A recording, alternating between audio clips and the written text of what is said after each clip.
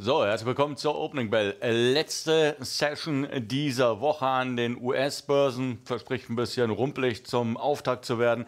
Aber wir kommen zunächst nach Frankfurt zu unserer Pfarrerstochter im Pfarrerstochter-Outfit heute. Franzi Simke, hi. Wenn du wüsstest, wenn du wüsstest. Wenn, wenn ich wüsste, genau. Aber tja, irgendwie ich weiß nicht, der DAX heute kommt da nicht mehr so vom Fleck. Ähm, ähm, fehlen so ein bisschen Impulse. Ja. Naja, wir haben schon auch wieder eine Handelsspanne von 200 Zählern. Also so ist es jetzt nicht. Ne? Ach so. Also da ist schon auch, äh, ja, Tagestief lag bei 13.403 Punkten. Vier. Tageshoch bei 13.593. Also wir kommen schon vom Fleck und aktuell sind wir 1% im Minus. Ne? Also 13.529. Wolltest du deine Anmod, das mit der Pfarrerstochter, könntest du auch noch mal wiederholen, vielleicht noch mal neu machen? nein, das mit, das, der, nein, das mit der Pfarrerstochter lasse ich. Okay. Das, ist, das, äh, das bleibt genauso, wie es ist. Von hier aus schwer zu erkennen. Aber sei es drum, dafür haben wir ja dich, dass du das einordnest. Wie ist denn die Stimmung in Frankfurt? Ja, genau. Also äh, in der Tat auch hier etwas rumpelig. Wir haben innerhalb dieser Woche eine wahre ja, Achterbahnfahrt gesehen. Schaukelbörse, hoch und runter ging es hier. Wir haben wirklich einiges an Bewegung hier mitgemacht. Und äh, so richtig weiß keiner, wo die Reise hingeht. Aber Schwankungen bei Einzeltiteln sind ja anscheinend innerhalb dieser Woche das ganz große Thema. Und somit sind auch hier einige so ein bisschen nervös und keiner traut sich so richtig zu zuzugreifen, aber auch keiner traut sich so richtig mit Schwung rauszugehen. Eins steht auf jeden Fall fest, würden wir jetzt so rund um dieses Niveau bleiben, dann haben wir um die 350 Punkte auf Wochensicht gesehen verloren. Die FED konnte es letztlich nicht richten und umso gespannter sind wir auf die kommende Woche. Da steht nämlich von Seiten der Konjunktur der große US-Arbeitsmarktbericht auf der Agenda und auch die Berichtssaison mit angekündigten Zahlen von Seiten der DAX-Konzerne nimmt so ein bisschen aber sicher an Fahrt auf. Wirft man einen Blick auf Einzelwerte, Covestro vorne mit dabei, Delivery Hero innerhalb dieser Woche einiges auf die Mütze bekommen, heute wieder unter den Gewinnern. RWE vorne mit dabei, Daimler,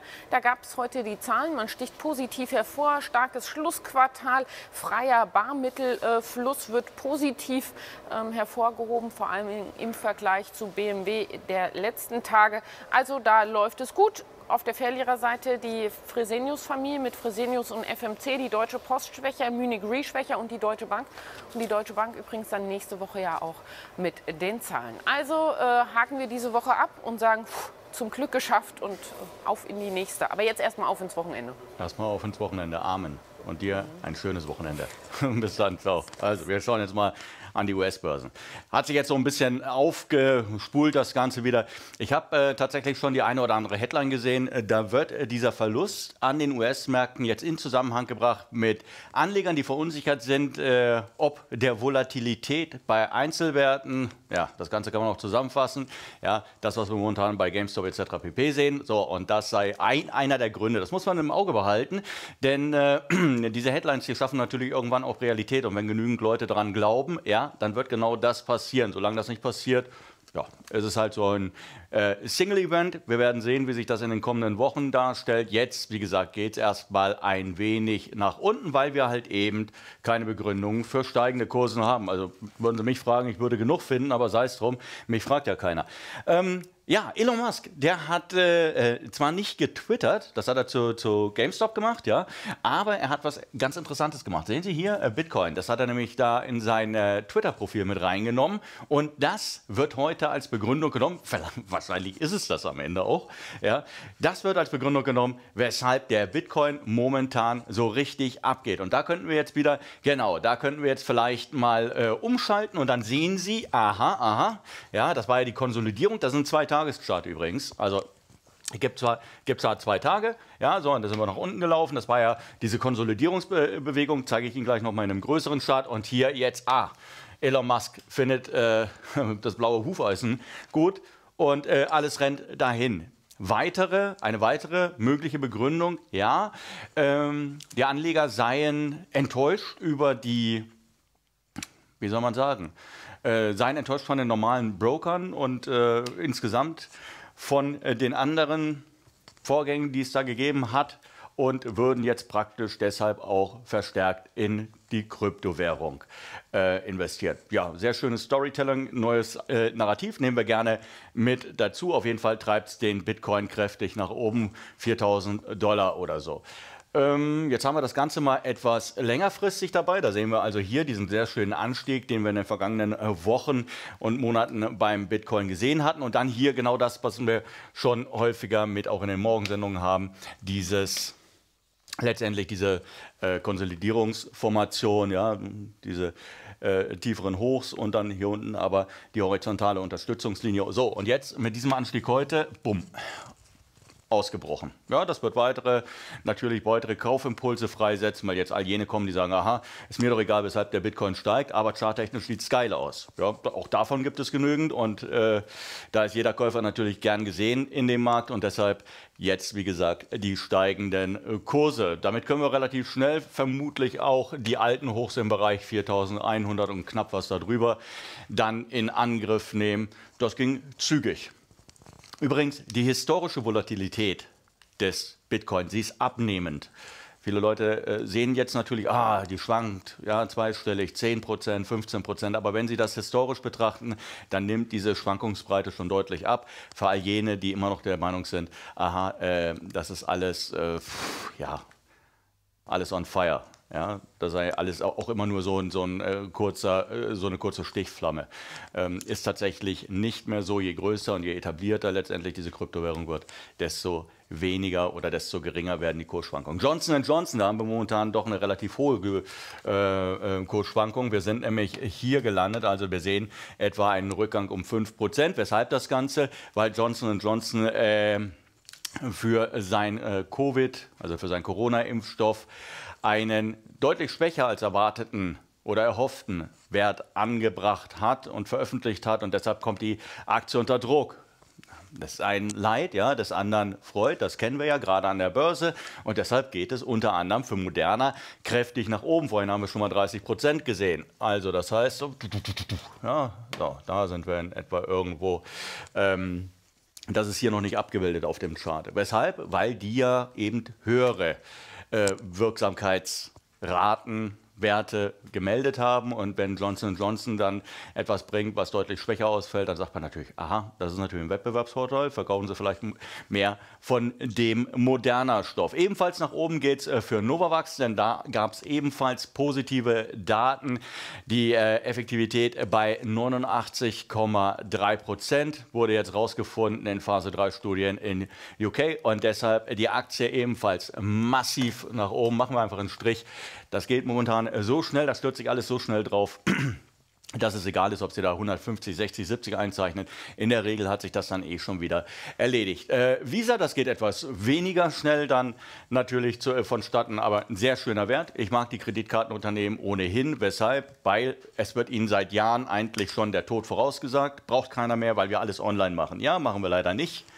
Und die haben ein Geschäftsmodell, das immer noch gut funktioniert. Und das Gute daran ist, äh, dass jetzt bei Visa, aber auch bei Mastercard, also sie haben natürlich hunderte Millionen Kunden, aber ähm, um diese Kunden zu verwalten, ist der Aufwand relativ überschaubar. Denn wer macht das Kundenmanagement für Visa und Mastercard? Richtig, die Banken.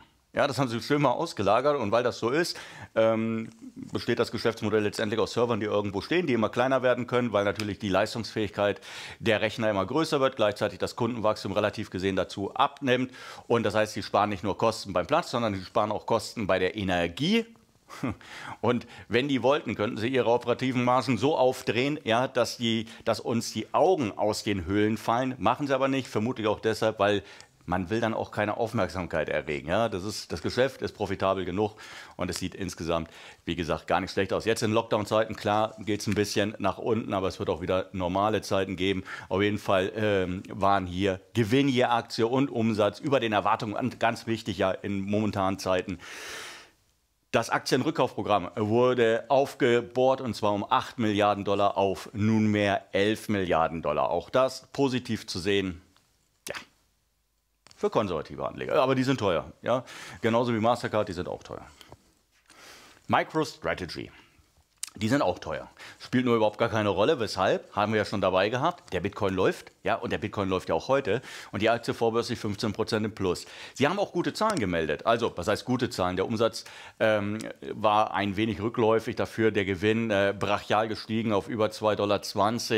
Erwartet 1,40 etwa. Aber sie haben ja massiv in den Bitcoin investiert. Und deshalb, das ist so wie bei früher bei Nespas. Bei Nespas war es ja so, Medienkonzern, ja, und die hatten irgendwann einen Anteil an Tencent gekauft, ein Drittel. Und Tencent wurde immer größer, größer, größer, größer und hat irgendwann, als der Laden 2, 3, 400 Milliarden Dollar schwer war, hat der bei Nespas alles überstrahlt, was es sonst noch im operativen Geschäft gab. Und bei MicroStrategy auf einer kleineren Ebene ist das äh, dasselbe. Ja? Die haben jetzt für eine Milliarde haben die äh, Bitcoin irgendwo im Depot und wenn die sich bewegen, dann spielt es natürlich keine Rolle mehr, ob sie irgendwo noch 150 Millionen Dollar Umsatz im Kerngeschäft machen was ja glücklich, wo wir glücklich sein können, dass es eins gibt. Und das scheint gar nicht schlecht zu laufen, aber wie gesagt, momentan, es hängt, es steht und fällt einfach mit dem Bitcoin. Übrigens bei 578 Dollar, jetzt sagen wir, wir kommen noch ein bisschen drüber, dann äh, steigt natürlich auch die Wahrscheinlichkeit einfach, dass die irgendwann sagen, okay, der Aktienkurs ist jetzt zu, zu, äh, zu hoch, wir wollen eigentlich etwas in die Breite gehen und dann gibt es auch noch einen Aktien-Split 3D Systems. Tja, ähm, da gibt es ein negatives Analystenrating oh Wunder, oh Wunder, die jetzt sagen, ja, die Aktie ist vielleicht ein wenig der operativen Entwicklung mag die jetzt zuletzt auch etwas positiver gewesen sein mit der Anhebung der Prognosen, ein wenig vorausgelaufen und deshalb haben die zuständigen Analysten die Aktie von Kaufen auf Halten zurückgestellt. Durchaus nachvollziehbar, war ja geschortet und von daher nettes Ziel für die Reddit-Jungs und deshalb ist die Aktie so abgegangen. Auf der anderen Seite gibt es eine Kaufempfehlung von Analysten für X1 weil die Analysten hier unterstellen, sie sagen, ja, auch da muss man sich die Bewertung natürlich anschauen und ja, ist ein bisschen hoch geworden, aber die Aussichten sind tatsächlich besser als bei 3D Systems. Die Leute müssen diesen Investment Case nun mal verstehen. Und soweit sie das tun, dürfte hier X1 äh, sicherlich äh, das präferierte Ziel sein. Und dann haben wir natürlich noch eine GameStop mit dabei, Jetzt muss ich mal schauen, ob ich... Oh, der ist aber klein, der Ausschnitt. Regie. Ist da nicht zu machen? Können wir das nicht irgendwie aufziehen? Nein. Ja, ah, okay.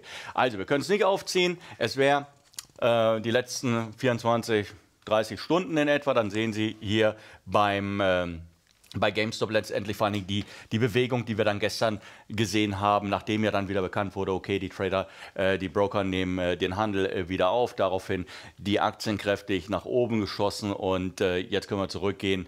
Also,